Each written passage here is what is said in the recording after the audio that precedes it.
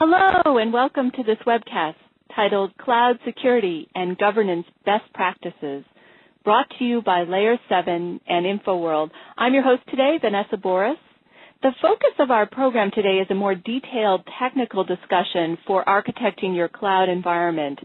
This program is the third and final installment of our three-part series with these presenters. And the first discussed the need for cloud security and governance. The second spoke to the business value and ROI for cloud security. And today we focus on actually delivering that security in governments from an architect's point of view. For example, how do you position cloud services in a way that doesn't cause security breaches? I mean, after all, cloud services may need to access on-premises data. In architecting your solution, you'll need to think about firewalls, access controls, audit controls, and much more, of course. Our program today features actual customer use cases to help you really understand how some enterprises have successfully architected their environments. Joining us for today's discussion are Dave Linthicum, who is the cloud blogger at Infoworld.com and author of Cloud Computing and SOA Convergence in Your Enterprise, an internationally known cloud computing and service-oriented architecture expert. And Scott Morrison, who is the Vice President of Engineering and Chief Architect at Layer 7 Technologies, where he's leading the team to develop the next generation of security infrastructure for web services. Scott is an architect and developer of highly scalable enterprise systems and has been so for over 15 years. He has extensive experience across industry sectors such as health, travel, transportation, and financial services. So stay tuned for what we know will be a terrific program, and you'll learn a lot more about cloud security and governance. A few quick notes before we jump in. In order to take advantage of all of the interactive features of today's webcast, including some audience polls, make sure to disable pop-up blockers if you haven't already. And we want to welcome you to send us your questions at any point during the webcast. Just type them into the box and hit the Submit Question button. And so, uh, it's my great pleasure to turn the program over to David. Dave? Well, thank you very much. I just want to welcome everybody to the webcast and really kind of point out the importance of this topic.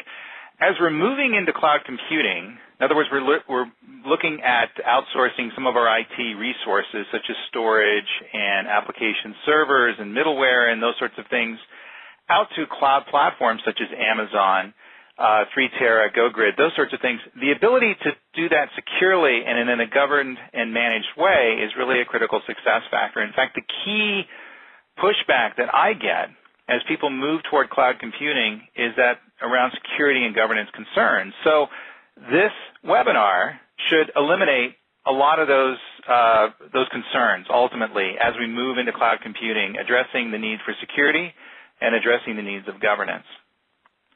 So moving forward, policies in the context of service-oriented architecture and thus cloud computing are something you need to focus on.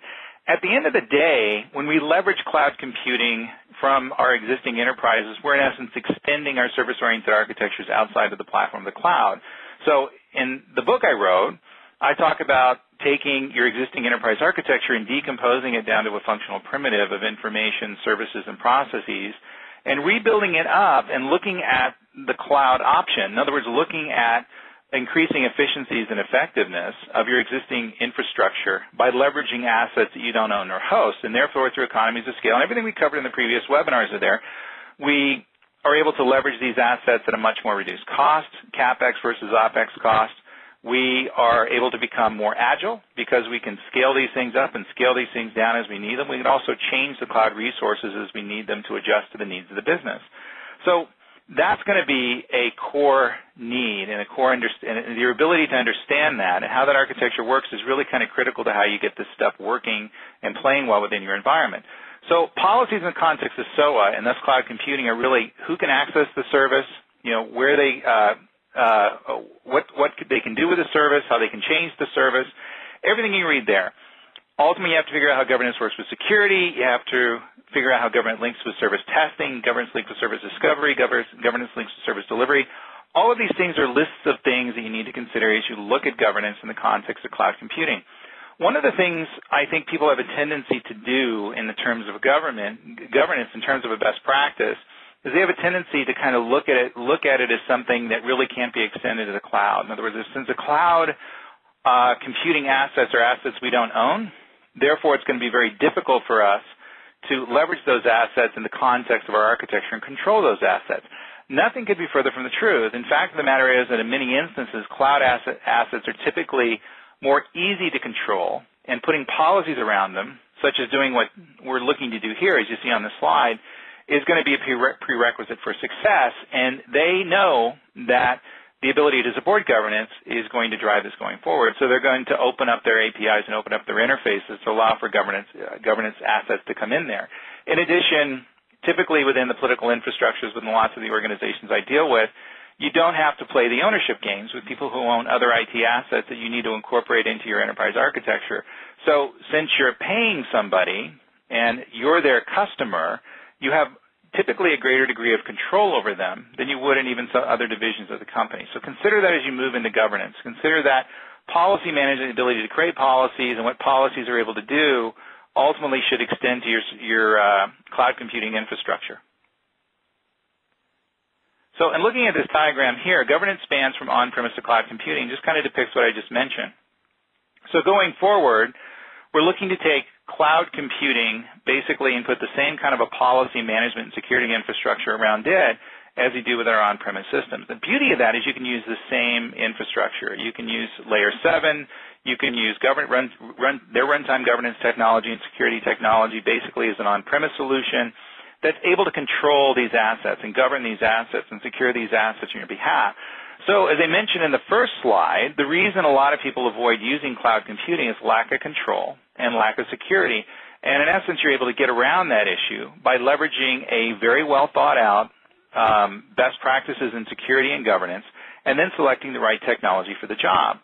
Now, one of the core things you need to consider here, and as you look at this stuff here, is that all of these services that participate in the architecture should exist and work and play well with all the other services, whether they're on-premise or cloud-hosted. So we're getting to a point where the lines are blurring between uh, what are IT assets that are under our control within our data center and what are IT assets that are outside of our control or perhaps in our control via governance systems that happen to reside in the cloud, such as Amazon and the other cloud computing providers that are out there, Salesforce.com, what have you.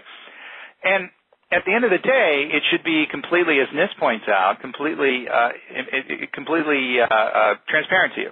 So whether you use assets that exist inside the firewall or outside the firewall, it shouldn't matter ultimately to the end game of building your architecture. And that's a core requirement of doing this kind of architecture because if you do start separating them and put them put them in their own little buckets and their own little span of control, even have different people looking after them, they have a tendency to go off in different directions and they won't add as much value to your initial infrastructure.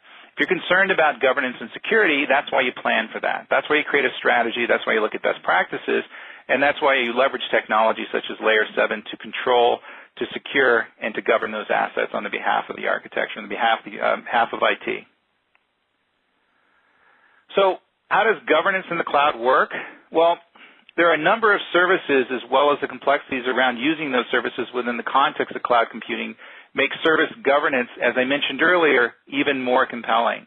You have to figure out where the location of those services are, and you have to figure out what those services are going to do as they change over time. One of the things that you put governance layers on top of services is ultimately we want to make sure that those services don't do something that's either going to violate privacy, security, compliance, or even our own uh, policies and procedures that we've innate within these policies that exist within our enterprise. So you need to figure out where they are. You need to figure out who has access to them. You need to figure out who's doing something to them, and you need to figure out how that relies into the security and the governance rules and regulations that you set up within the core infrastructure. So service dependencies, in other words, if you you know, Amazon changes the service or you change an on-premise service, it could break lots of different things. You need to figure out how those service dependencies are going to work and how that propagates out to the other services or applications that leverage those services. How it works in terms of security. In other words, your ability to make sure that people aren't able to do malicious or, or, or uh, bad things to your existing system uh, by violating security policies at the service level. And then service monitoring, the ability to do auditing and logging and those sorts of things to make sure that you figure out what those services are doing. So if you do indeed have issues, you have a log of things you're able to go through to make to see exactly what happened. The other thing around that is compliance auditing. In many instances, uh, regulations, not only United States regulations, but regulations that overseas as well, around privacy require you to do logging and core governance systems in order to be legal, in order to live up to the uh, capabilities of the law. And so you got to look at location, look at dependencies, look at monitoring, and look at security.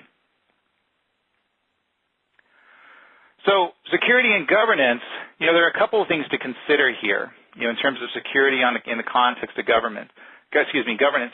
First and foremost, you need to leverage good enough security, meaning the security solution you look at to implement is proper for the application and information you're protecting. One of the things I see people do is they they err on uh, both sides. In other words, there's no security there because they consider cloud computing as something that can't be secure, and therefore they don't take steps in doing the planning and putting in the governance infrastructure and the security infrastructure in place to support it. In other instances, they over-secure it. So in other words, they, they may not even leverage cloud computing assets. They may lock it up behind their, uh, behind their firewall they may do things where it's not accessible by the systems that need to access it. And that's also a mistake because ultimately if the services aren't available to people who need to consume them, then they don't, they don't have the value and therefore the value of leveraging cloud computing or service-oriented architecture or any kind of service-based computing for that matter is going to be diminished. Second, need to create a security approach using use cases and, you know, that, uh, using use cases and thus look at how security needs to exist at every level of the system. So you need to figure out exactly and partition your system into various different security domains and figure out how security is applicable in those particular domains. So in essence, you look at your requirements, what you need to leverage in terms of security and governance, and you back the appropriate security solutions uh, into those particular domains. And that, I think, is the best practice. Scott, you're going to cover some of this stuff later in your presentation. Is there anything to add here, some guidance you can give the audience around security and governance? Well, I think you hit the nail on the head actually, particularly with the second one, which is you really have to have a good knowledge of use cases and build your security around that. Uh, we can avoid extremes. You don't have to do no security and you don't have to, you know, do extreme security where everything's completely locked down and nothing works. You can tune security so that it actually works for you. It gives you the right level of confidence, the ability to manage trust effectively out there in the cloud, but also is, is tuned specifically to your needs. And, and to do that effectively, you need to think about the real use cases and not the theoretical ones. And that, in fact, is actually exactly what we're going to talk about in the second half of this, um, uh, this presentation.